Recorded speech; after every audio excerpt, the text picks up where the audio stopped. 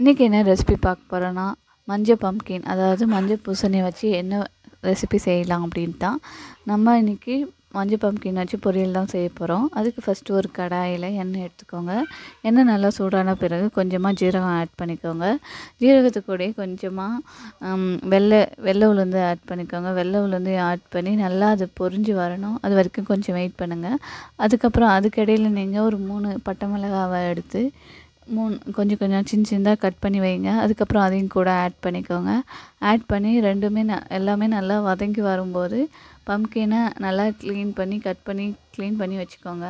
அதை அதையும் வானலில் ஆட் பண்ணிக்கோங்க. ஆட் பண்ணி பம்க் எல்லா எல்லாத்தையும் நல்லா ஆட் பண்ணிக்கிட்டு பம்கின் நல்லா ஒரு தடவை வதக்கி விட்டுட்டு அதுக்கப்புறமா கொஞ்சமாக என்ன பண்ணுறீங்கன்னா உப்பு ஆட் பண்ணிக்கோங்க.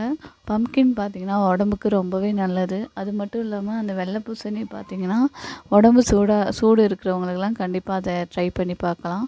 டெய்லி அதை வெறும் வயிற்றில் கூட ஜூஸாக போட்டு குடிக்கலாம். அதுவே ரொம்ப நல்லது. உப்பை ஆட் பண்ணிக்கிட்டு அது கூடவே கொஞ்சமாக மஞ்சத்தூளையும் ஆட் பண்ணிக்கோங்க. ரெண்டுத்தையும் ஆட் பண்ணி நல்லா கலந்து விட்டுக்கோங்க. நல்லா எல்லா பம்கின்லேயும் கோட் ஆகிற மாதிரி நல்லா கலந்து விட்டு கொஞ்ச நேரம் கழித்து கொஞ்சமாக பெருங்காயத்தூள் ஆட் பண்ணி அது கூடவே கொஞ்சம் கருவேப்பிலையும் ஆட் பண்ணி கொஞ்சோன்ட்டு இது பம்ப்கின்லேயே தண்ணி வரும். ஸோ லைட்டாக மட்டும் ஒரு அரை கிளாஸ் மாதிரி தண்ணி ஆட் பண்ணி கொஞ்ச நேரம் மூடி போட்டு வச்சுருங்க. மூடி போட்டு வச்சு ஒரு ஃபைவ்லேருந்து ஒரு எயிட் மினிட்ஸ் வரைக்கும் வெயிட் பண்ணுங்கள் பம்ப்கின் நல்லா வேகணும் கொஞ்ச நேரம். அது வேகிற நேரத்தில் நீங்களும் பம்ப்கின் நல்லா வேகிற வரைக்கும் வெயிட் பண்ணுங்கள் அது அது வரைக்கும் க்ளோஸ்லேயே இருக்கட்டும். க்ளோஸில் ஒரு மீடியம் ஃப்ளேமில் வச்சு அதை நல்லா வேகிற வரைக்கும் வெயிட் பண்ணுங்கள் அதுக்கப்புறம் ஓப்பன் பண்ணி பாருங்கள் கொஞ்சம் ஜூஸியாக ரொம்ப நல்லாவே வந்திருக்கும். அது கூட கொஞ்சமாக சர்க்கரை ஆட் பண்ணிக்கோங்க. உங்களுக்கு சர்க்கரை டேஸ்ட் பிடிக்கும் அப்படின்னா. ஆனால் சர்க்கரை ஆட் பண்ணிங்கன்னா ரொம்ப நல்லாவே இருக்கும் அந்த பொரியல். இதோட பம்கின் பொரியல் நல்லா நல்லா நல்லாவே ரெடி ஆகிடுச்சு. பாருங்கள் ரொம்பவே ஜூஸியாக தெரியுது. அதுக்கப்புறம் நீங்கள் எடுத்து ஹாட்டாக சர்வ் பண்ணிங்கன்னா ரொம்பவே நல்லாயிருக்கும்.